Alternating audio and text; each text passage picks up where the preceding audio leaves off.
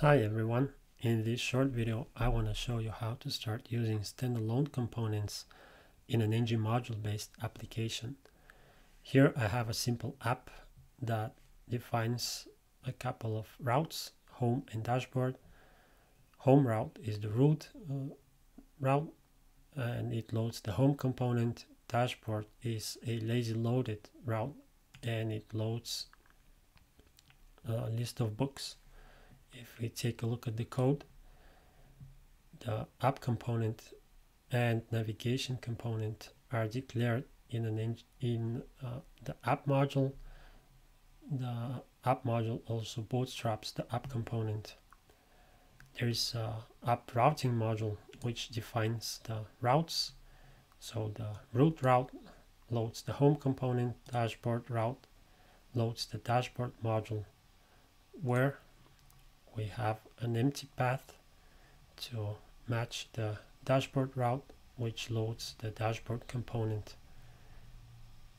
In the corresponding dashboard module we import the books module where we have declared the books component. Let's see how we can convert the dashboard route to use standalone components. First, let's start with the list of books. Since standalone components don't need an ng module anymore, we can safely delete the books module. One thing to note though is the imports part. We are importing the common module and we're going to need it in the books component. We'll see how in a minute. First, I'm going to delete the books module. Then open the books component and declare it as a standalone component. Since we're using um, ngFor in a, in a template which is part of the common module, we need to import that as well.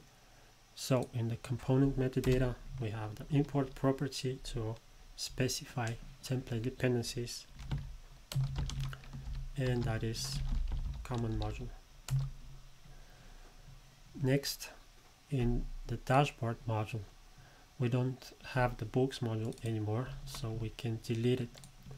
What we should do instead is in the imports array, we need to um, list the books co component instead. If I save and go back to the page we can see that it still works. So right now we have the list of books as a standalone components. The dashboard route is still defined in a engine in an ng module. Let's see how we can convert that as well. So first we have the route here. Instead of creating a ng module we can lazy load the dashboard component directly. So we'll go to the app routing module instead of loading the dashboard module uh, we can load a component instead.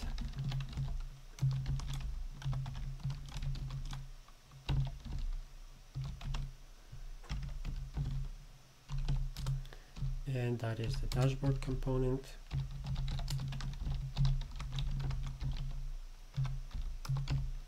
And we say that we want to load that component instead of the dashboard module. We'll delete this line, save, go to the page.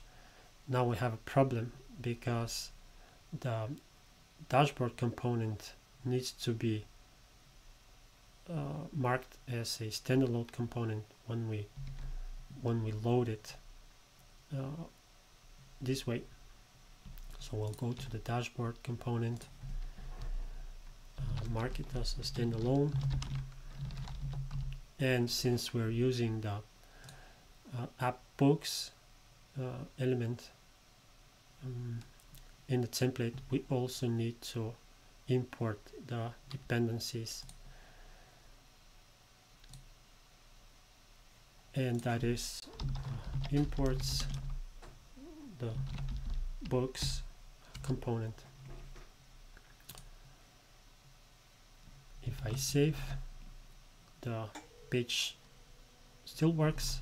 I can safely delete the uh, dashboard module. And we can also verify that the uh, dashboard route is lazy loaded. So I'll go uh, I'll go to the home page refresh uh, open the DevTools in the network tab clear it click on the dashboard and we can see that the dashboard component lazy loaded. Um, this way you can start using standalone components today. You don't have to migrate your whole application to use standalone components. You can start by uh, you can start by migrating just a route or a just a component to use standalone components and um, refactor your application as you go. I hope you found this video helpful. Subscribe to my YouTube channel, like this video. See you in the next one. Bye.